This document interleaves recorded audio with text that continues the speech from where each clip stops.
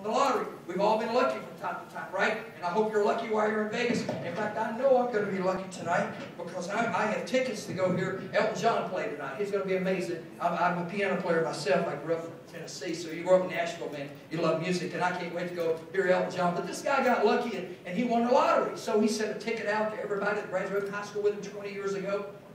Flew them all in to his big ranch and he built a swimming pool. He had a live band playing. And he said, look, guys, uh, shut the music down. He called everybody around the swimming pool and he said, now look, that, you know, I was lucky. I won the lottery and I wanted to invite all my high school friends to come. And here's what I want to do. I've got a million dollars in cash in my safe in the house. I've got my daughter who just turned 20 years old, and if she'll marry you, uh, you can. And, and I've got a deed and title and trust to the property. If somebody just wants to jump in the swimming pool, if you can get to the other end of that pool alive, but there are two alligators. They just noticed that we're in the swimming pool. He says, so if you'll do it, you can have one of the three and splash. The guy's in the swimming pool. He's swimming like a crazy man. He's flailing. Everybody's going, come on, you can.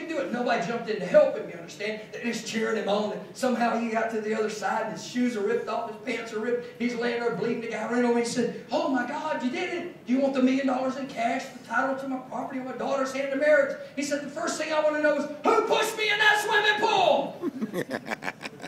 now the moral of the story is, nobody pushed you into the car business.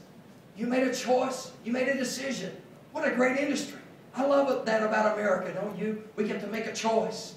If you're going to be in this industry, you're going to be a part of this great opportunity in America, why not be a great leader?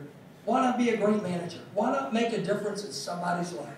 Why not step up to the plate when you get back home and say, I'm going to change lives? Things are going to be different as a result of my coaching and my mentoring. Why not do that for yourself and everybody you know. I just want to say thank you. I know you're tired. It's been a long day, and I think I ended about two minutes early. That was my goal to not stretch you beyond your endurance. God bless y'all. Thank you so much for being here today, and I'll see you at the top.